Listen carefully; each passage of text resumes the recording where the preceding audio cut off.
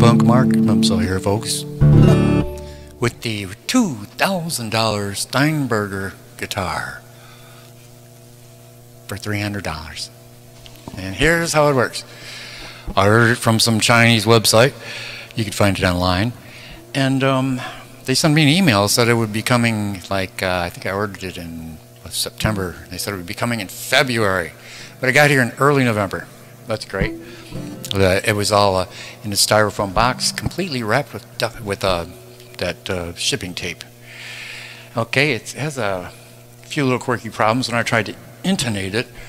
The two heavy strings here was, were not hitting that zero fret. You see that first fret there? It's called the zero fret. There's, there's no nut on this. It's a nutless guitar too, headless and nutless.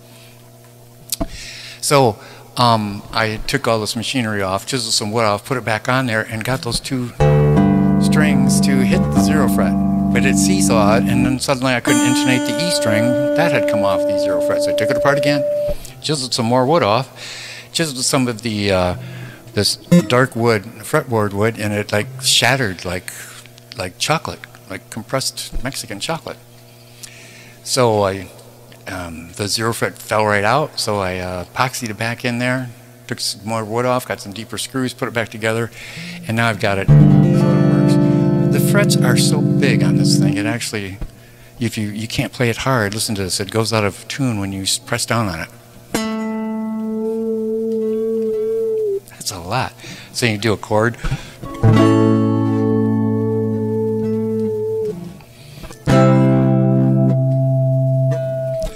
And the tremolo bar, um, they have some online reviewers that talked about it not working very much. It goes about a quarter tone. You know, full step, half step, this thing goes a quarter step. So you really got to flail around on it to get any activity out of it.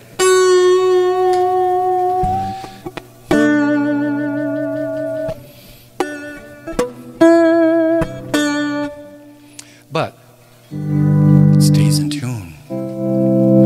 Has these wonderful little sled-like, uh, I don't know what you call these things, places where you intonate the guitar. They just slide back and forth. They could they come out like little like little magnets or something. You're real cute. And if a string pops off, there is a um, Allen wrench here that presses them all together like this so that the pieces won't go flying across the room. So there you have it. $2,000 Steinberger guitar for $300, but they need a little work. Here's what they sound like. Neck pickup.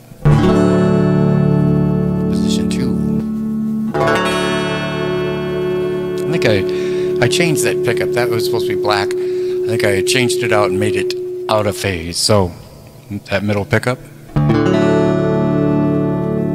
Position four.